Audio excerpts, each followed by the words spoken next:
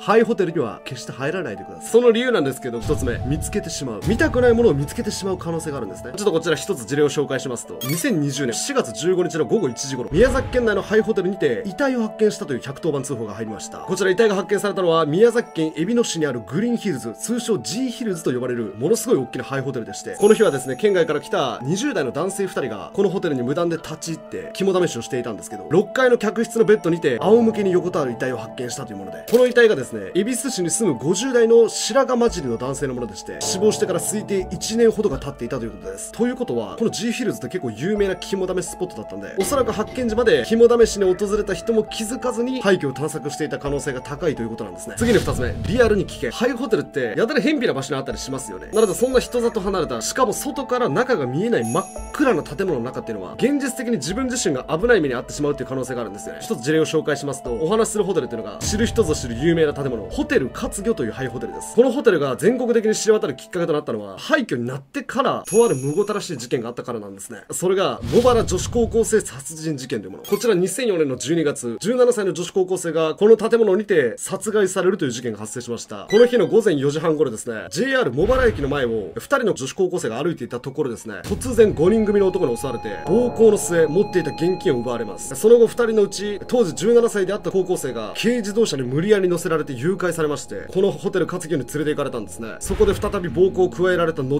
電気コードで考察され魚を保存するための大きな冷蔵庫に遺棄されたというものですこの事件ですねこのホテルに連れ去られた後暴行そして殺害まで及んでるんですよということは、まあ、言うならばこのホテル活魚っていうハイホテルはこれだけ犯行が可能な環境だったということになるんですねなのでこの事件をきっかけにですねこの場所のみならずハイホテルは危険だよというイメージが世に浸透しましたなのでこういった場所に軽い気持ちで行くのがどれだけ危険なことなのか少しは理解できたかなと思います